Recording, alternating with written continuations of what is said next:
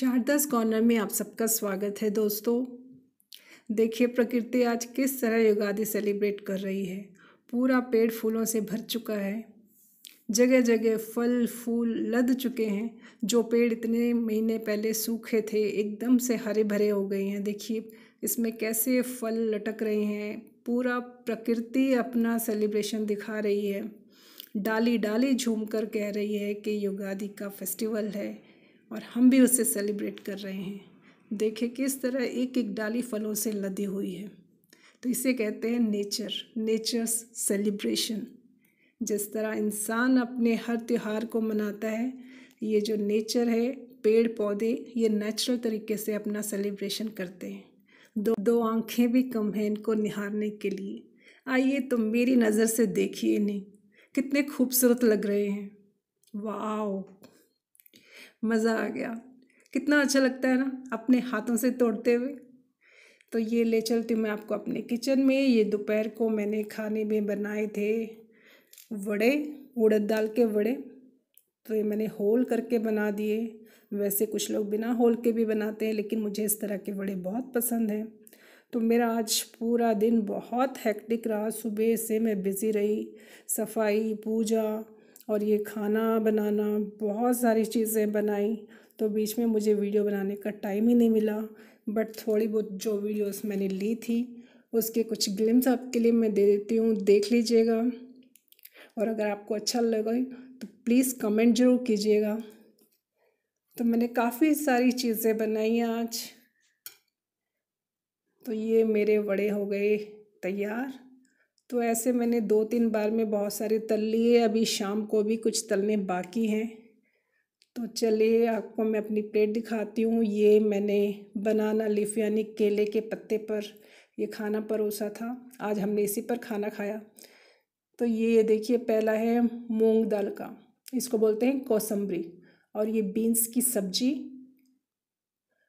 और जो नेक्स्ट है, इसको बोलते हैं कालुल्ली ये फूल गोभी, कैप्सिकम, काला चना और आलू से बना था।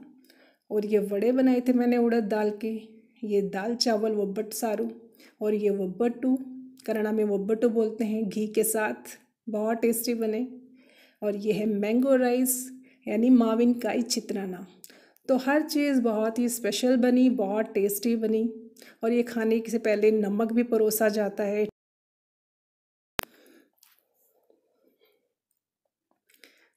तो ये पूरी प्लेट मेरी है, इसे मैंने खाया है। तो पूरा अच्छे से सेलिब्रेट हुआ। गेस्ट भी आए थे खाने के लिए। ये है मैंगो राइस के लिए गुज्जू। तो ये कुछ ज़्यादा बना दिया था मैंने। तो इसको कुछ दिन रखकर हम खा सकते हैं। तो इसको चावल के साथ मिक्स करके खाया जाता है। ये स्पेशल है आज के दिन के लिए। सबके घर ये बनता है। अलग अलग तरह से बनाते हैं। तो भगवान आपकी सारी मनोकामनाएँ पूरी करें। तो आज का मेरा ये दिन भी बहुत अच्छे से गुजर गया बिना किसी प्रॉब्लम के। भगवान आपकी सारी मनोकामनाएँ पूरी करें।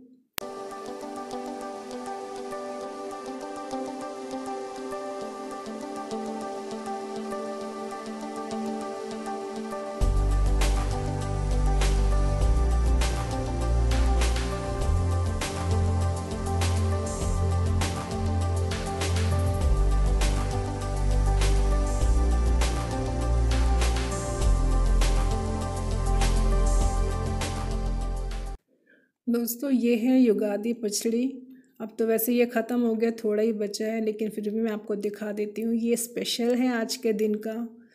तो ये हर घर में बनाना बहुत ज़रूरी है, क्योंकि हेल्थ के उससे बहुत ही इंपॉर्टेंट है ये। सेहत के लिए काफ़ी अच्छा है। इसमें नीम के पत्ते, उसके फूल, इमली का रस, गुड़, पानी, ये सब चीज़ें मिलाकर इसको बनाया जाता है और सब इसका सेवन करते हैं। कच्चे आम के भी छोटे छोटे टुकड़े करके डाले जाते हैं। इससे ये कुछ खट्टा मीठा और खाने में बहुत टेस्टी बनता है। तो आपको मैं अपने किचन का एक कॉर्नर भी दिखा देती हूँ, जो कि मेरे लिए बहुत ही फेवरेट है। ये देखिए, मैंने फेस्टिव मोड में अपने किचन से मैट, मैच करते हुए मैट डाल दिए हैं। तो पिंक कलर हाईलाइट हुआ है। ये है एंट्रेंस और ये आगे चलते ही और एक मैचिंग मैट और सबसे क्यूट जो मेरा फेवरेट है, वो है ये वाटर फ़िल्टर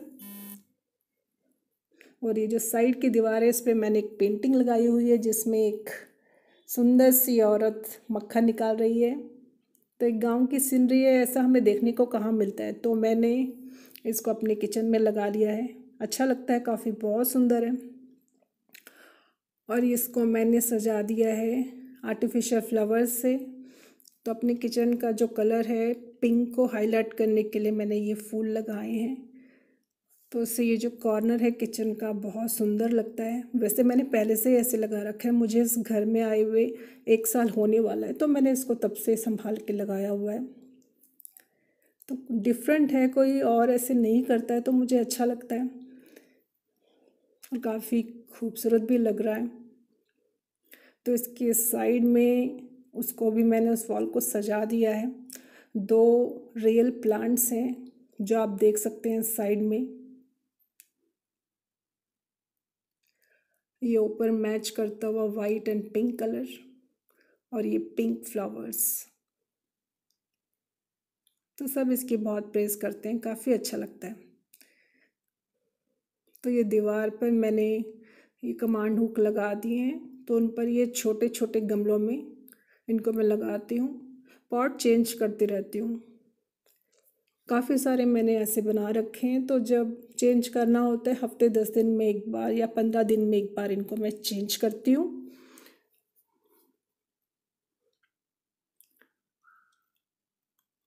और ये इसके साइड में ये मैंने कुछ मनी प्लांट के पत्ते लगाए हुए हैं। ये है मेरा गोलू और ये मोलू और ये जो लेटा हुआ है, ये है भोलू। ये बेचारा भार उठाता है ना, इसलिए लेटा रहता है। ये भी काफ़ी क्यूट है, मेरे फेवरेट हैं। इनका भी मैं प्लेस थोड़ा थोड़ा चेंज करती रहती हूँ, कभी इधर, कभी उधर। तो बस आज के लिए इतना ही। अगर आपको आज का वीडियो अच्छा लगा हो तो इसे लाइक शेयर और सब्सक्राइब करना ना भूलें। फिर मिलते हैं अगले वीडियोज़ में। तब तक के लिए धन्यवाद। Thank you